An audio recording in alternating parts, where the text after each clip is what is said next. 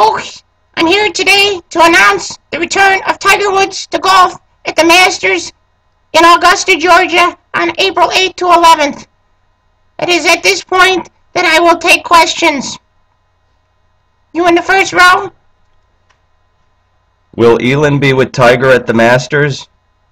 Yes, but she may be in disguise. What kind of disguise? She might be dressed up as one of those money-grubbing, gold-digging whores, or even as a Bigfoot. A Bigfoot? What do you mean by that? I mean, she could be wearing a Bigfoot costume, or maybe even Sasquatch. You in the third row?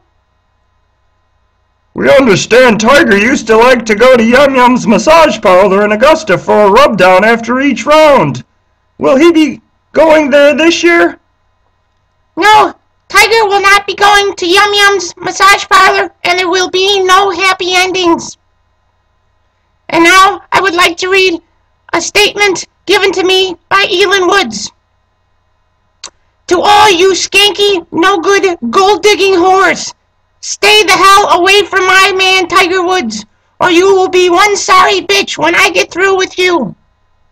That's all, folks.